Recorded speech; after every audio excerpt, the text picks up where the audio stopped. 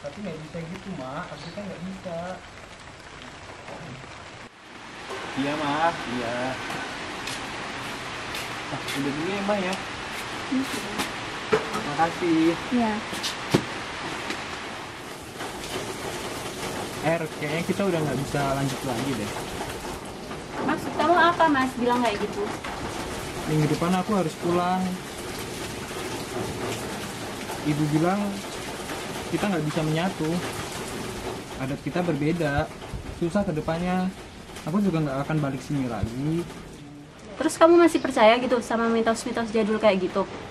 iya aku teh percaya